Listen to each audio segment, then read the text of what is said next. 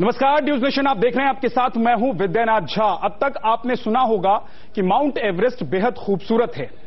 यहाँ चढ़ाई करने का अपना अलग रोमांच है। दुनिया की सबसे खतरनाक चोटी पर पहुँचने के लिए लोग सपने देखते हैं। मगर अब माउंट एवरेस्ट ने पर्वतारोहियों को परेशान कर दिया है। एवरेस्ट की टेंशन वाली ये रिपोर्ट आप देखिए और समझिए कि आखिर कैसे माउंट एवरेस्ट डेथ स्पॉट में बदल गया है।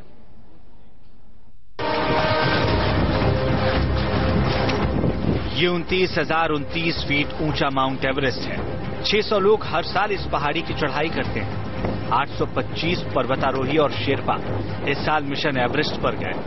5000 पर्वतारोही अब तक इसकी आखिरी चोटी तक पहुँचे। सफेदी लपेटे इस अथाह खूबसूरती को करीब से निहारना पर्वतारोहियों का सपना हुआ करता है। मगर यही सपना परेशानी में तब्दील होता जा रहा है।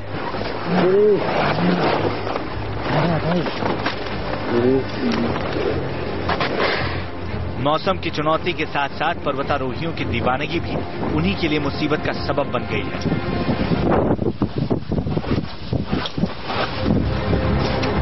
माउंट एवरेस्ट के शिखर से वापस लौटे दिल्ली के आदित्य गुप्ता ने जो बयां किया है, वो किसी को भी बेचैन कर देगा। हर एक हिंदुस्तानी आदित्य गुप्ता की आँखों देखी सुनकर हैरान रह जाएगा। नेपाल का हर एक बाशिंदा इस पर्वतारोही की आप बीती से काँप उठेगा। अमेरिका और जर्मनी के पर्यटक भी आदित्य गुप्ता के बताए सच से पसीने पसीने हो जाएँगे। दुनिया का हर एक पर्वतारोही माउंट एवरेस्ट की मौजूदा हकीकत सुनकर सिहर उठेगा। ये वीडियो माउंट एवरेस्ट के हैं, जिन्हें खुद आदित्य गुप्ता ने रिकॉर्ड किया है। वीडियो में देख सकते हैं, पर्वतारोही सफ़ेद चोटियों की हसरत पाले आगे की तरफ़ बढ़ रहे हैं। दुनिया की सबसे खूबसूरत चोटी से दिख रहा ये दृश्य आँखों को सुकून देने वाला है। अब इस वीडियो को देखिए। ये अवलांच तो नहीं है, मगर बर्फ़ नीचे की तरफ़ खिसकती दिख रही है, और इसकी वजह भी कई है। माउंट एवरेस्ट को लेकर जब भी कोई रिपोर्ट आती है तो यही चिंता रहती है कि ग्लेशियर पिघल रहे हैं, धरती का तापमान बढ़ रहा है, इसके विपरीत असर से नदियों में बाढ़ आ सकती है। एवरेस्ट की वजह से भूकंप का खतरा बढ़ सकता है, मगर इस बार चौंकाने वाला खुलासा पर्वतारोहियों को लेकर हुआ है। एक रिपोर्ट कहती है कि इस साल माउंट एवरेस्ट फतह करने के चक्कर में 11 लोगों की मौत हो चुकी है। इनमें से चार हिंदुस्तानी बताए जा रहे हैं। अब तक के आंकड़ों के मुताबिक पिछले छह दशक में 300 पर्वतारोहियों की मौत हो चुकी है। लेकिन सवाल है कि एवरेस्ट के रास्ते पर दम तोड़ने वाले इन पर्वतारोहियों के शव गए कहा? इनके शव कोई वापस भी लाया या वहीं दफन कर दिए गए? कितने दिन तक ऐवते हैं पर्वतारोहियों के शव? इन सवालों के जवाब पहली बार किसी पर्वतारोही के ज़रिए सामने आए हैं। आदित्य गुप्ता की आप बीती आपको सुनाएँगे? आपको बताएँगे कैसे दुनिया की सबसे ऊँची चोटी तक पहुँचने के लिए मौसम, चढ़ाई के साथ साथ शवों से टकराना पड़ता है। Team, News Nation. इस साल माउंट एवरेस्ट का सीज़न खत्म हो गया है। पर्वतारोही बेस कैंप से वापस लौट गए हैं। मगर जो सवाल हमने उठाए हैं, वो बेहद गंभीर है। दिल्ली के आदित्य गुप्ता ने एवरेस्ट की चढ़ाई के दौरान लाशों का भयावह मंजर देखा और उन लाशों के बीच से होकर वो गुजरे हैं।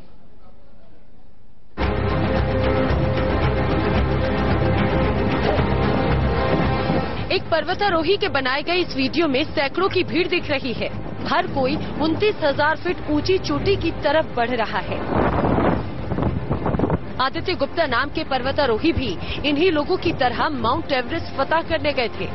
आदित्य गुप्ता तो वापस आ गए मगर बेस कैंप के जो हालात उन्होंने बताए वो सिहरन पैदा करने वाले हैं। जान का जोखिम तो इसीलिए पैदा हो गया ना जो कि जैसे मेरे साथ भी हुआ तो मेरा शेरपा लास्ट के छह सात घंटा में अकेला आया। वो आगे निकल गया इसलिए नहीं कि वो मेरा बुरा चाहता था या मेरा कोई झगड़ा हो गया। बट दे नॉट थिंकिंग कि यार क्लाइंट के साथ रहना है। थक जाते हैं परेशान होते हैं अगर अगर ट्रैफ़िक है तो ये लोग तो निकल जाते हैं ओवर ओवरटेक करके। आप हैं अपने तरीके से चलेंगे। आप वहाँ पे रोज चलने वाले नहीं है तो आप सेफ़ चलेंगे आप रोप पे रास्ते पे चलेंगे तो अगर आपका शेरपा ही आगे चला गया कोई आपको परेशानी है कौन सॉल्व करेगा? चढ़ाई करने से पहले आदित्य गुप्ता की मुंबई की रहने वाली अंजलि कुलकर्णी और शरद कुलकर्णी से मुलाकात हुई। आदित्य का कहना है कि अंजलि तब बहुत खुश थी। मगर ये उन्हें नहीं मालूम था कि वापसी पर वो उन्हें ज़िंदा नहीं मिलेंगी। अंजलि के पति उनके शरीर को नीचे लाने की व्यवस्था कर रहे थे। अंजलि के पति ने मुझे बताया कि कैसे अंजलि अक्सर मज़ाक में कहती थी कि अस्पताल में मरने से तो अच्छा है कि मेरी मौत किसी पहाड़ पर हो जाए। इसे पता था कि एक दिन उनके शब्द सच साबित होंगे। अंजलि ने माउंट एवरेस्ट तो फतह कर लिया मगर वापसी करते हुए 22 मई को उनकी मौत हो गई। पर्वतारोहियों की भीड़ की वजह से उन्हें काफ़ी दिक्कतों का सामना करना पड़ा। करीब 12 घंटे तक वो वही फंसी रही। यही वो वक्त था जब अंजलि बीमार पड़ गई और इस हादसे में उनकी मौत हो गई। इसी 22 मई को आदित्य गुप्ता माउंट एवरेस्ट की चोटी पर पहुँचे थे और इसी सफ़र में उन्हें लाशों के बीच से होकर गुजरना पड़ा। ये शव किसी और के नहीं, बल्कि उन पर्वतारोहियों के थे, जिनमें से कई के सपने अधूरे रह गए। तो कुछ सपने पूरे करने के बाद भी घर वापस नहीं लौट पाए। रास्ता बहुत पतला होता है तो अगर किसी के साथ कुछ ऐसा हादसा हो जाए तो उसकी बॉडी को नीचे लाना इतना इजी नहीं है। उसमें काफ़ी स्पेशलाइज लोग लगते हैं, काफ़ी एक्सपेंसिव काम है, और थोड़े दिन बाद ही हो पाता है वो। उस वक्त के फ्लो में नहीं हो सकता कि भाई आज कुछ हुआ है और कल ही आपको नीचे बॉडी तो तब तक के लिए बॉडी को रास्ते से हटाना पड़ता है। जरा सोचिए, जहाँ बामुश्किल पाँच लोगों के खड़े होने की जगह होती है, अगर वहाँ पंद्रह लोग एक साथ खड़े हो जाएँ और वो भी खड़ी ऊंचाई पर तो क्या होगा? ठीक यही हालात थे माउंट एवरेस्ट के।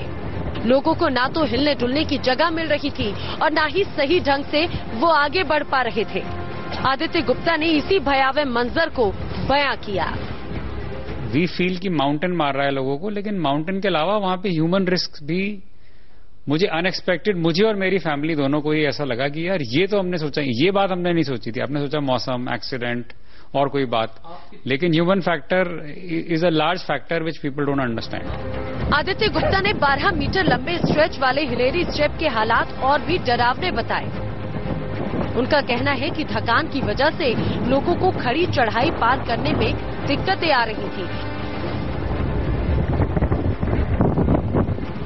और यही वजह है कि 11 लोग इस सीज़न में अपनी जान गंवा बैठे। Team, News Nation. आठ पर्वतारोही ऐसे हैं जो लापता बताए जा रहे हैं। प्रशासन को समझ नहीं आ रहा है कि ये लोग ज़िंदा भी बचे हैं या नहीं। फ़िलहाल तलाश जारी है। आपको बताते हैं कि आखिर माउंट एवरेस्ट फतेह करने के लिए शवों के बीच से क्यों निकल रहे हैं लोग? ये कोई चूक है या लापरवाही या फिर जानबूझकर ऐसा किया जा रहा है? एक रिपोर्ट देखिए। नेपाल और तिब्बत की सीमा पर स्थित माउंट एवरेस्ट को ऊंचाई के लिहाज से दुनिया का सरताज कहा जाता है। इसकी चोटी पर चढ़ना जान हथेली पर लेकर चलने के समान है। एक चूक मौत को दावत दे सकती है। बावजूद इसके माउंट एवरेस्ट का आकर्षण कभी कम नहीं हुआ। अनुभवी हो या नौसिखिए हर कोई माउंट एवरेस्ट पर चढ़ाई करना चाहता है। और पर्वतारोहियों के इसी शौक को नेपाल ने व्यवसाय बना लिया है। ये जानते हुए भी कि इससे पर्यावरण को कितना खतरा है। इस साल नेपाल सरकार ने एवरेस्ट फतह करने के लिए तीन सौ इक्यासी परमिट जारी किए, जबकि पिछली बार 346 पर्वतारोहियों को अनुमति दी गई थी। इस बढ़ती संख्या के पीछे की वजह बताई जा रही है परमिट से नेपाल को होने वाला मुनाफा। कोई पर्वतारोही अगर माउंट एवरेस्ट पर चढ़ाई करता है तो उसे नेपाल सरकार से अनुमति लेनी होती है। इसके लिए एक पर्वतारोही को करीब 10 लाख रुपए की रॉयल्टी देनी पड़ती है। एक रिपोर्ट के मुताबिक, हर साल नेपाल सरकार को इससे 30 करोड़ डॉलर का फ़ायदा होता है। इसके अलावा पर्वतारोही अपने साथ ऐसे शेरपाओं को ले जाते हैं जो एवरेस्ट पर चढ़ाई करवाते हैं, जिनका खर्च भी परमिट खर्च से ज़्यादा होता है। नेपाल में एवरेस्ट को सागर माथा के नाम से जानते हैं, जबकि तिब्बत में चोमोलुंगमा, दुनिया के कई मुल्कों में माउंट एवरेस्ट को पीक 15 नाम दिया गया है। इस खूबसूरत मगर खतरनाक पहाड़ी की चढ़ाई के लिए इस साल 77 भारतीयों ने परमिट का आवेदन किया था, जिनमें से चार की जान चली गई। एवरेस्ट से जुड़े जानकारों का कहना है कि पर्वतारोहियों की संख्या में इजाफा उन लोगों की वजह से ज़्यादा हुआ है जो अनुभवहीन है और एवरेस्ट पर पहुंचकर तस्वीरें खिंचवाने में दिलचस्पी रखते हैं। यही वजह है कि नेपाल सरकार से जुड़े अधिकारियों ने पर्वतारोहियों की सीमा तय किए जाने से इस बार भी इनकार कर दिया है।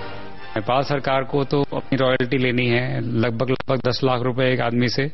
नेपाल सरकार सिर्फ़ रॉयल्टी के नाम पे ले लेती between two three heads so I don't think कि वो उस चीज़ को अपने आप से कंट्रोल करेंगे या ज़्यादा कुछ भी है। नेपाल की दलील है कि लोगों की मौत की वजह सिर्फ़ भीड़ ही नहीं है, एवरेस्ट पर विपरीत मौसम मिलता है। तो साथ में अधिकतर पर्वतारोहियों में अधिक ऊंचाई पर दबाव सहने का अनुभव नहीं होता। कई पर्वतारोही पूरी तैयारी के बिना ही एवरेस्ट पर चढ़ाई करने पहुँच जाते हैं।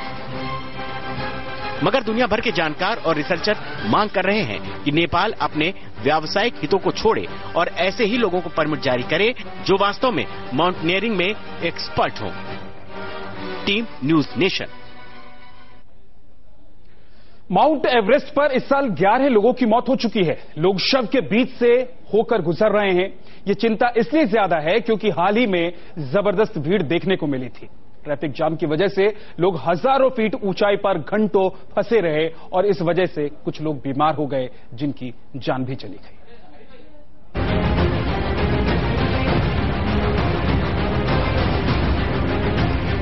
ट्रैकिंग के रोमांच को जीने वाले पर्वतारोहियों के लिए किसी जन्नत से कम नहीं है माउंट एवरेस्ट। सफ़ेद बर्फ़ से ढके दुनिया के इस सबसे ऊँचे पहाड़ को फतह करना कोई बच्चों का खेल नहीं है।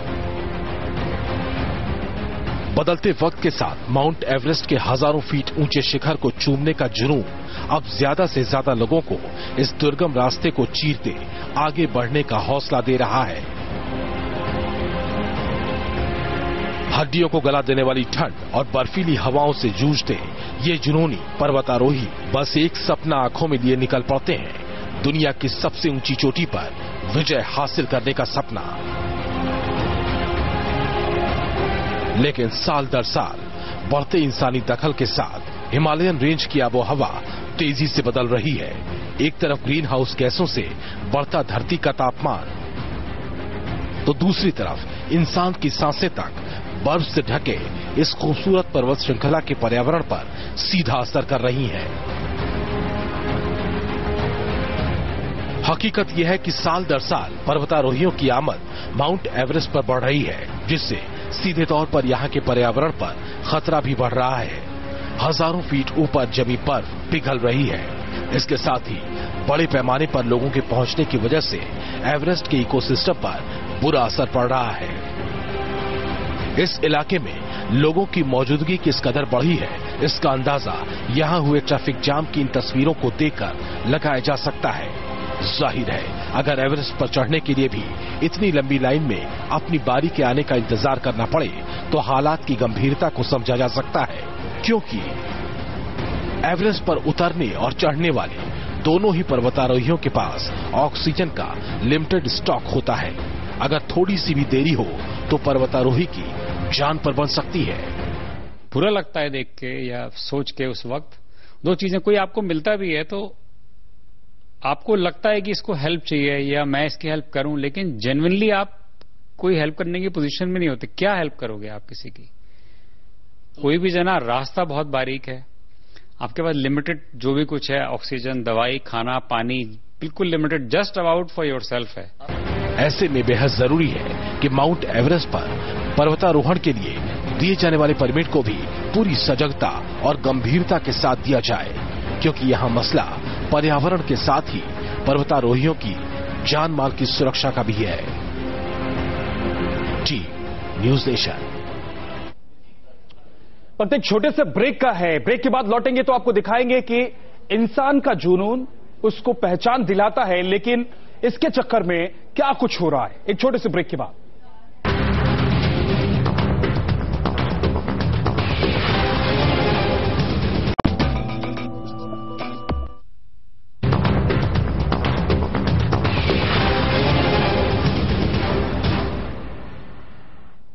इंसान का जुनून उसको पहचान दिलाता है, लेकिन तब क्या? जब इंसानी जुनून किसी की पहचान को खत्म करने लगे।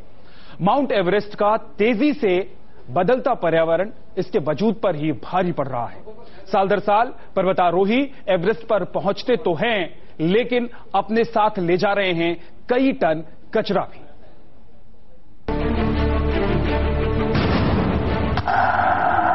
दुनिया की सबसे ऊँची चोटी पर खतरे का अलाव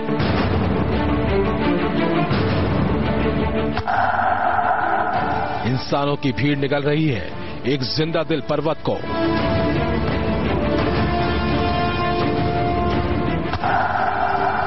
सफ़ेद बर्फ़ से ढके माउंट एवरेस्ट की अनकही दास्तान। कई दशकों के प्रोफेशनल पर्वतारोहण से दुनिया की सबसे ऊँची चोटी माउंट एवरेस्ट पर जाने वाले धनी पर्वतारोहियों की संख्या में इजाफा हो रहा है। सबसे गंभीर बात यह है कि ऐसे ज़्यादातर पर्वतारोही इस चोटी के पर्यावरण और इकोसिस्टम की घोर अनदेखी कर रहे हैं।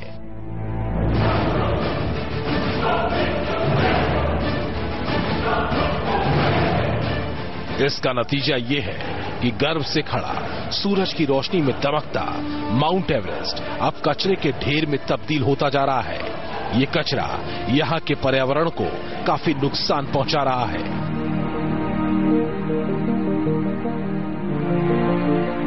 माउंट एवरेस्ट के 8,848 मीटर लंबे मार्ग में पर्वतारोही अपने टेंट बेकार हो चुके उपकरण खाली गैस सिलेंडर और यहाँ तक कि मानवीय अवशिष्ट तक छोड़ जाते हैं। एवरेस्ट की ऊंचाई पर टनों कचरा पड़ा है। किसी को इस बात की फुर्सत नहीं कि ये कचरा माउंट एवरेस्ट के इकोसिस्टम और पर्यावरण दोनों के लिए बेहद घातक है। क्योंकि ये कूड़ा असामान्य तरीके से बर्फ़ से ढके दुनिया के सबसे ऊँचे पर्वत का तापमान बढ़ा रहा है। ज़ाहिर है, इसका सीधा मतलब है प्राकृतिक आपदाओं की आमद। एक तथ्य ये भी है कि एवरेस्ट पर चढ़ने वालों की संख्या में लगातार बढ़ोतरी हो रही है। पिछले साल जून महीने में करीब 600 लोग एवरेस्ट की चोटी तक पहुँचे थे। इससे समस्या और भी बिगड़ रही है। इसके साथ ही वैश्विक तापमान के बढ़ोतरी के चलते ग्लेशियर के साथ साथ ये कचरे भी उभर कर सामने आ रहे हैं। ऐसा नहीं है कि एवरेस्ट पर जमा हो रहे कचरे को कम करने की कोशिश नहीं हुई। बेशक कोशिशें हुई हैं। पाँच साल पहले नेपाल ने नियम बनाया था कि पर्वत पर चढ़ने वाले हर टीम को करीब ढाई लाख रुपए जमा कराने होंगे और जो पर्वतारोही अपने साथ कम से कम आठ किलोग्राम कचरा लाएगा, उसे ये राशि वापस कर दी जाएगी। सागर माथा प्रदूषण नियंत्रण समिति के मुताबिक साल 2017 में नेपाल के पर्वतारोही करीब 25 टन कचरा और 15 टन वेस्ट मटेरियल लेकर नीचे आए थे। बावजूद इसके एवरेस्ट पर जमा कचरा अभी भी कहीं ज़्यादा है, जो इंसान ने वहाँ रख छोड़ा है।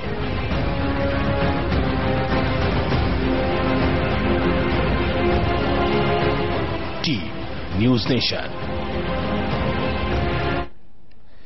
तो इस खास पेशकश में इतना ही, एक छोटा सा ब्रेक। लौटेंगे कुछ और बड़ी खबरों के साथ। आप बन रही